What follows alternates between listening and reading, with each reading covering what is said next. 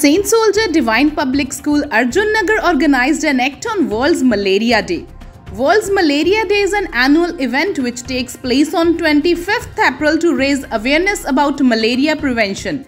It highlights the need for funding and support to work towards to eradicating the disease. Students were very happy to watch this act and were very excited during whole act. Here is the glimpse of event conducted by school.